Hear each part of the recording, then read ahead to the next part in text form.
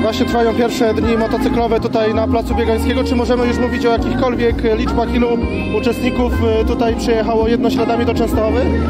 No w tej chwili jeszcze trudno powiedzieć. Spodziewamy się około 35 tysięcy motocykli dziś i jutro, 14-15 kwietnia. Zobaczymy, no, liczymy na nich bardzo. Pogoda sprzyja, więc czekamy. No właśnie, wiele atrakcji, między innymi kulminacyjny punkt, y, y, koncert zespołu Ice City Drinkers. Co poza tym?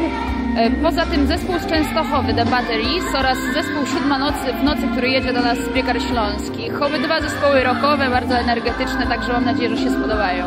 No i oczywiście przy okazji jest ambulans y, krwiodawstwa, taka szlachetna inicjatywa tutaj przy okazji również tych dni motocyklowych. E, Tak, zapraszamy do wzięcia udziału w akcji Motoserce. Jest to zbiórka organizowana już od e, kilku lat, ogólnopolska, w tej chwili również w Częstochowie. E, Także zapraszamy również wszystkich do wzięcia w niej udziału. Dla wszystkich, którzy oddadzą krew, przygotował, e, przygotowaliśmy naszywki.